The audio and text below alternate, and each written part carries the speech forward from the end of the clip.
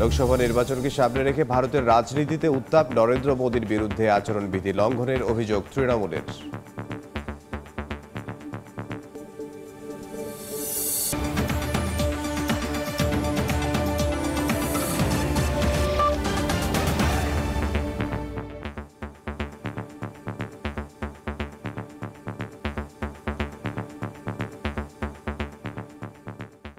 আন্তর্জাতিক সময় সঙ্গে আছি আমি ইমদাদুল হক। নির্বাচনকে ঘিরে উত্তাপ ছড়াতে শুরু করেছে ভারতের রাজনীতিতে। এবার খোদ প্রধানমন্ত্রী নরেন্দ্র মোদীর বিরুদ্ধেই উঠেছে নির্বাচনী আচরণবিধি লঙ্ঘনের অভিযোগ। ভারতীয় বিমান বাহিনীর হেলিকপ্টারে চড়ে অন্ধ্রপ্রদেশের একটি নির্বাচনী সমাবেশে গিয়েছেন মোদী। নির্বাচন কমিশনে এমন অভিযোগ দায়ের করেছে তৃণমূল কংগ্রেস। যদিও এ বিষয়ে কোনো মন্তব্য করেনি ক্ষমতাসীন দল, বিজেপি। ভারতের আসন্ন লোকসভা নির্বাচন ঘিরে উত্তপ্ত হয়ে উঠছে দেশটির রাজনীতির মাঠ। চলছে পাল্টাপাল্টি অভিযোগ আর বাগবিতণ্ডার ফুলঝুরি। এবার খোদ প্রধানমন্ত্রী নরেন্দ্র মোদীর বিরুদ্ধেই উঠেছে নির্বাচনী আচরণবিধি লঙ্ঘনের অভিযোগ। ভারতীয় গণমাধ্যম জানিয়েছে, প্রধানমন্ত্রী নরেন্দ্র মোদীর বিরুদ্ধে নির্বাচন আচরণবিধি লঙ্ঘনের অভিযোগ করেছেন তৃণমূল কংগ্রেসের বিধায়ক সাকেত গোখলে। সোমবার দেশটির নির্বাচন কমিশনে অভিযোগ দায়ের করেছেন তিনি। রোববার অন্ধ্রপ্রদেশের পালনারুর একটি নির্বাচনী সমাবেশে যান মোদী। তৃণমূলের অভিযোগ, মোদী ওই সমাবেশে গিয়েছিলেন ভারতীয় বিমান বাহিনীর একটি হেলিকপ্টারে চড়ে, আর তা নিয়েই নির্বাচন কমিশনে চিঠি পাঠিয়ে অভিযোগ জানায় দলটি। নির্বাচনী প্রচারণায় বিমান বাহিনীর হেলিকপ্টার ব্যবহার করার জন্য প্রধানমন্ত্রীর বিরুদ্ধে ইসি কোনো ব্যবস্থা নেবে কিনা সেই প্রশ্নও তুলেছে তৃণমূল। তাদের দাবি বিমান বাহিনীর হেলিকপ্টার ব্যবহারের জন্য বিজেপি যদি কোনো অর্থও দেয় সেটাও জানাতে হবে ইসিকে।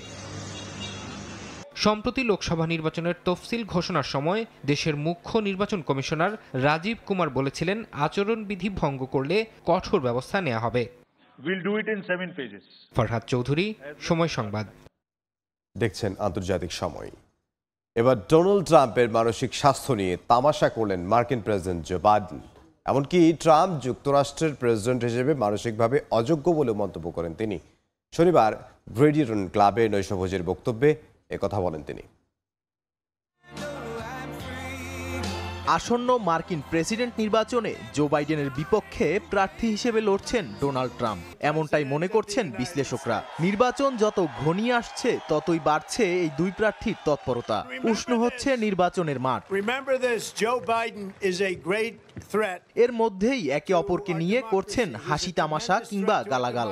সম্প্রতি এক নির্বাচনী প্রচারণায় মার্কিন প্রেসিডেন্ট জো বাইডেনকে অকথ্য ভাষায় গালি দেন ট্রাম্প। এরপর গ্রিডিরন ক্লাবে নৈশভোজের বক্তব্যে ট্রাম্পের মানসিক সুস্থতা নিয়ে রসিকতা করেন বাইডেন। কাতার ভিত্তিক সংবাদ মাধ্যম আল জাজিরার প্রতিবেদনে এমনটাই জানা যায়। আঠারোশো আশি সাল থেকে ওয়াশিংটনের ঐতিহ্য হিসেবে চলে আসছে এ নৈশভোজ। বাইডেন বলেন যুক্তরাষ্ট্রের প্রেসিডেন্ট নির্বাচনে দুজন প্রার্থীর মাঝে একজন বৃদ্ধ এবং মানসিকভাবে অসুস্থ। তিনি আরও বলেন ট্রাম্প মনে করেন তিনি বারাক ওবামার বিরুদ্ধে নির্বাচনে লড়ছেন। যদিও ট্রাম্পের নির্বাচনী প্রচারণার দল এ বক্তব্যের বিপরীতে কোনো প্রতিক্রিয়া জানায়নি। Stand, stand proudly for liberty. আল জাজিরার প্রতিবেদনে আরও বলা হয় প্রেসিডেন্ট থাকাকালীন অবস্থায় এই প্রথম বাইডেন ঐতিহ্যবাহী গ্রিডিরন নৈশভোজে অংশ নিলেন। এ সময় বাইডেনের সঙ্গে নৈশভোজে উপস্থিত ছিলেন আয়ারল্যান্ডের তাওইশাস লিও ভারাতকার, শীর্ষ ধনী জেফ বেজোস, টিকটকের সিইও সৌজি চিউ সহ প্রায় সাতশো জন গণ্যমান্য ব্যক্তি। নাদিম মারজান, সময় সংবাদ।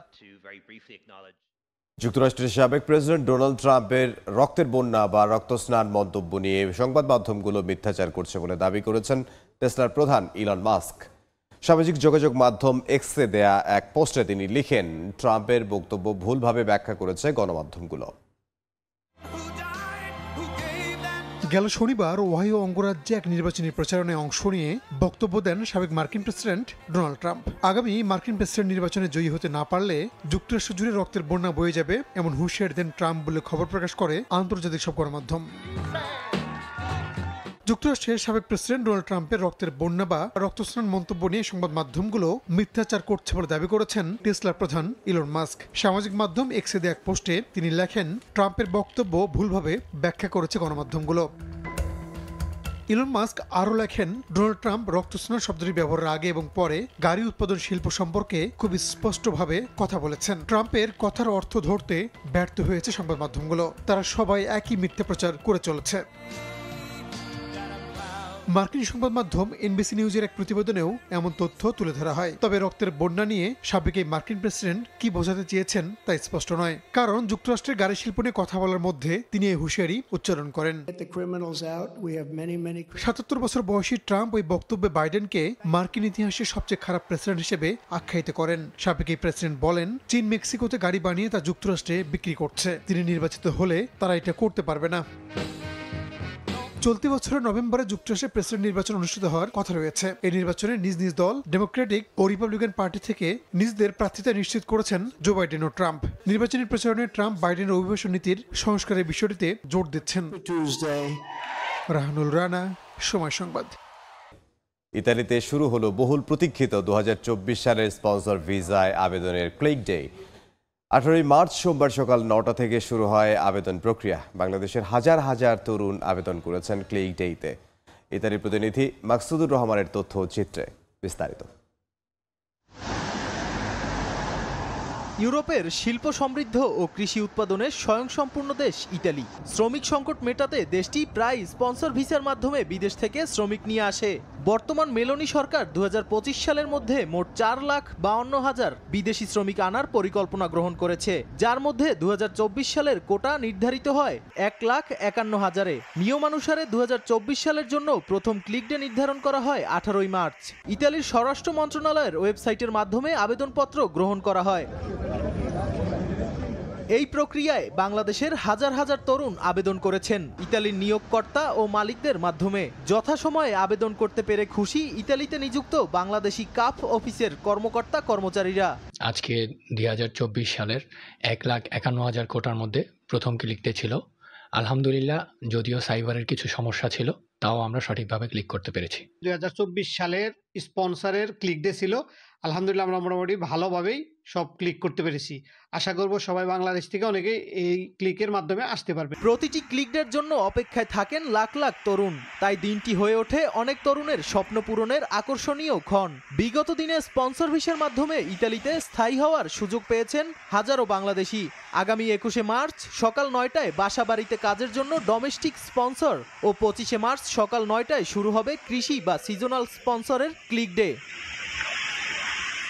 সময় সংবাদ, ইতালি। যুক্তরাষ্ট্রের লস অ্যাঞ্জেলেসে যথাযোগ্য মর্যাদায় নানা কর্মসূচির মধ্য দিয়ে বঙ্গবন্ধু শেখ মুজিবুর রহমানের একশো চারতম জন্মবার্ষিকী ও জাতীয় শিশু দিবস উদযাপিত হয়েছে। এ উপলক্ষে লস অ্যাঞ্জেলেসে বাংলাদেশ কাউন্সিলেট আয়োজিত অনুষ্ঠানে প্রবাসী বাংলাদেশি ও শিশু কিশোররা অংশগ্রহণ করেন। লস অ্যাঞ্জেলেস থেকে লস্কর আল মামুনের রিপোর্ট। ইতিহাসের মহানায়ক স্বাধীন বাংলার স্থপতি বঙ্গবন্ধু শেখ মুজিবুর রহমান, যিনি ছিলেন রাজনীতির কবি। সাতই মার্চের ঐতিহাসিক ভাষণ ছিল এই কবির মহাকাব্য। সেই মহাকাব্যে উদ্বুদ্ধ হয়ে মুক্তি সংগ্রামে ঝাঁপিয়ে পড়ে অদম্য জনতা, আসে স্বাধীনতা। আমরা পাই লাল সবুজ পতাকা। এই পতাকা আজ উঠছে বিদেশের মাটিতে। উঠছে যুক্তরাষ্ট্রের লস অ্যাঞ্জেলেসের, বাংলাদেশ কনসুলেটের নিজস্ব ভবনেও। বঙ্গবন্ধু শেখ মুজিবুর রহমানের একশো চারতম জন্মবার্ষিকী ও জাতীয় শিশু দিবসকে সামনে রেখে লস অ্যাঞ্জেলেসের বাংলাদেশ কনসুলেটের নানা কর্মসূচির মধ্যে ছিল বঙ্গবন্ধুর প্রতিকৃতিতে ফুল দিয়ে শ্রদ্ধা জানানো প্রামাণ্যচিত্র প্রদর্শন ও আলোচনা সভা। এছাড়াও ছিল শিশু কিশোরদের পরিবেশনায় নানা আয়োজন এবং সাংস্কৃতিক অনুষ্ঠান। দল মতের বিশেষে সকলে মিলে একযোগে স্থানীয় সময় রোববার বিকেলে আলোচনা সভায় বক্তারা বঙ্গবন্ধুর আদর্শে নতুন প্রজন্ম গড়ে তোলার উপর গুরুত্ব আরোপ করেন। বঙ্গবন্ধু আমাদের মাঝে এসেছিলেন বলেই আমরা স্বাধীনতার স্বপ্ন দেখেছি। এবং স্বাধীনতা অর্জন করেছি। অনুষ্ঠানে উপস্থিত বক্তারা আরও বলেন বিশ্বের নিপীড়িত মানুষের কণ্ঠস্বর হয়ে বঙ্গবন্ধু শেখ মুজিবুর রহমান বেঁচে থাকবেন অনন্তকাল। লস্কর আল মামুন সময় সংবাদ লস অ্যাঞ্জেলেস যুক্তরাষ্ট্র। যুক্তরাষ্ট্রের লস অ্যাঞ্জেলেসে হলিউড মসজিদের বার্ষিক ইফতার মাহফিল ও তহবিল সংগ্রহে নৈশ ভোজের আয়োজন করা হয়েছে। স্থানীয় সময় রোববার মসজিদ প্রাঙ্গণে ইফতার মাহফিলে মিশর, ইন্দোনেশিয়া সহ দেশি বিদেশি ইসলামিক চিন্তাবিদ স্থানীয় কমিউনিটির নেতারা উপস্থিত ছিলেন। ইফতার পূর্ব আলোচনায় বক্তৃতা দেন মসজিদ পরিচালনা পরিষদের সভাপতি আশরাফ হোসাইন আকবর, সাধারণ সম্পাদক আব্দুল মান্নান সহ আরও অনেকে। হলিউডের ব্যয়বহুল স্থানে জমি সহ ভবন ক্রয় করতে প্রয়োজনীয় ত্রিশ লাখ ডলার সংগ্রহ করতে পাঁচটি ফান্ড রাইজ অনুষ্ঠানের আয়োজন করা হয়। এখন পর্যন্ত সংগ্রহের পরিমাণ বিশ লাখ ডলার।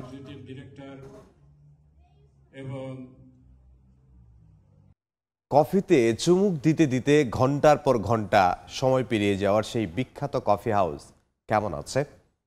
কেমন আছেন যারা নিয়মিত আড্ডা দিতেন সেখানে? কিংবা কত সময় ধরেই তারা এখনও আড্ডা দেন? সময়ের সঙ্গে পাল্লা দেয়া, পাল্টে দেয়া ইঁদুর দৌড়ের জীবনে আদৌ কি বাঙালি কফি হাউসে বসে নির্লিপ্ত সময় কাটাচ্ছেন? বিশ্বজিৎ দাসের ছবিতে সেই কফি হাউসের আড্ডার অতীত বর্তমানের খবর জানাচ্ছেন সুব্রত আচার্য। আঠেরোশো ছিয়াত্তর সালে নির্মিত কলেজ স্ট্রিটের অ্যালবার্ট হল। সময়ের প্রয়োজনে উনিশশো সাতচল্লিশ সালে কফি হাউস হিসেবে যাত্রা শুরু করেছিল। ব্রিটিশ শাসন থেকে দেশভাগ ঘুরে দাঁড়ানোর ভারতবর্ষের অর্থনীতি, সমাজনীতি থেকে জ্ঞান বিজ্ঞানের কত চিন্তাই না তৈরি হয়েছে কফি হাউসের এই টেবিলে বসে। এক কাপ কফি আর ঘণ্টার পর ঘণ্টার নির্লিপ্ত আড্ডায় কত গল্প, কবিতা, সাহিত্য, গানের পংক্তির জন্ম হয়েছে, যার চিরসাক্ষ্য দিয়ে গেছেন মান্নাদের গাওয়া গানের কথায় গৌরী প্রসন্ন মজুমদার। তবে আজকের আর্টিফিশিয়াল ইন্টেলিজেন্স বা এআই এর যুগে মানুষের হাতে সেই অঢেল সময় নেই। সবাই ছুটছেন অস্থির এক ইঁদুর দৌড়ে। তাই এক কাপ কফি আর দীর্ঘ সেই আড্ডা এখন আর নেই বললেই চলে। কুড়ি পঁচিশ বছর আগে চলে যান পেছনে যান সে যে ছিল সেটা নেই। এখন মানুষ সবাই কর্মব্যস্ত হয়ে পড়েছে। মানুষের হাতে সে ধৈর্যটুকু নেই সে হাতে টাইম নেই। মানুষ এখন কর্মব্যস্ত। প্রবীণ বা এই প্রজন্মের প্রতিনিধিরাও নিয়ম করে আজও রোজই কফিতে চুমুক দেন। দেখা হয় বন্ধুর সঙ্গে চলে আড্ডাও। তবে সেই আড্ডার দৈর্ঘ্য থাকে মিনিট মেপে। সময়টা বড় কথা নয়। আড্ডা দেওয়ার ইচ্ছাটা এবং এই আড্ডাটা বয়ে যাওয়ার আড্ডা না। এই আড্ডার মধ্যে একটা একটা বিনিময় আছে মত মতামত বিনিময় আছে এবং সেটা খুব ক্যাজুয়ালি আসলাম একটু মানে কপি খেলাম রিল্যাক্স করলাম দুটো কথা শুনলাম অনেক কিছু জানলাম শিখলাম এই। জানাও যায় অনেক কিছু অনেক কিছু বলাও যায় তারাও জানেন এবং এইভাবেই আমাদের আড্ডা বরাবরে চলে আসে। কলেজে ইউনিভার্সিটির ক্ষেত্রে আসতাম ইউনিভার্সিটি কাজ হয়ে যেত তারপরে আমরা নয় এটা সারা বিকেল অব্দি না একটা আড্ডা মারতাম। আর এখন সেই কলেজ শেষ এখন আর ওই সেই আড্ডাটা এখন আর কোথায়? প্রয়োজনেই কলেজ স্ট্রিটে আসা হলে কলেজ স্ট্রিটে এই কফি হাউসে চলে আসি। শুধু স্থানীয়রাই নন গল্পে উপন্যাসে কিংবা বিখ্যাত মান্নাদের গানে শোনা কফি হাউসের আড্ডা চেখে দেখার কৌতূহলে বাংলাদেশের পর্যটকরাও ভিড় জমান। রোজ চলে আড্ডাও। তবে সেই আড্ডাও হয় ঘড়ি ধরে। ছোটবেলা থেকে শুনলাম এখন যখন কলকাতায় আসলাম সেটা দেখার যে একটা আগ্রহ সেটার জন্যই আসা। বসে যে অনেকক্ষণ সেই কফি খেতে খেতে আড্ডা সেটা এখন আর নেই আসলে। গুণীজনরা যেভাবে চিন্তা ভাবনা করতো গানের চিন্তা ভাবা চিন্তা ভাবনা বা ওদের এখানকার কফির যে ইতিহাস নিয়ে যে চিন্তা ভাবনা সেগুলো এখন আর নেই। গানের জন্যই আমার প্রথম শোনা কফি হাউস কথাটা। আড্ডার জন্য কি কোনো সময় দরকার হয়? মানে আড্ডা তো সব সময় সব কাজের ফাঁকে সবাই দেয়। এসে সবার সাথে একটু গল্পও করলাম আর আহ, তার সাথে কফিও হলো। আসলাম যে কফি হাউসে এসে একটু বসি দেখি কেমন গল্প শুনি সবার কাছে। আগের যে কোনো সময়ের চেয়ে এখনকার কফি হাউসের ব্যবসা বেড়েছে বহুগুণ। খুব শিগগিরই কলকাতার বাইরে মুর্শিদাবাদেও নতুন শাখা খোলা হচ্ছে। আর সেখানে ঐতিহ্যের স্মারক কফির সঙ্গে যুক্ত হচ্ছে বিভিন্ন দেশের স্বাদের খাবারও। আর আড্ডা সেটা কম সময় হোক কিংবা দীর্ঘ। কেননা কফি হাউস আর আড্ডা দুই সমর্থক শব্দে পরিণত হয়েছে আজ। বদলে গেছে সময়। তরুণ কিংবা প্রবীণ দুই প্রজন্মের হাতেই আর আগের মতো অঝেল সময় নেই। তাই ঐতিহ্যবাহী কলেজ স্ট্রিটের এই কফিতে চুমুক দেওয়ার যে দীর্ঘ আড্ডা, সেই আড্ডার দৈর্ঘ্যও কমে গেছে। আড্ডার দৈর্ঘ্য কমলেও কলেজ স্ট্রিটের ঐতিহ্যবাহী কফি হাউস কিন্তু রয়েছে সেই আগের কফি হাউসেই কলকাতার কলেজ স্ট্রিটের ঐতিহ্যবাহী কফি হাউস থেকে সুব্রত আচার্য সময়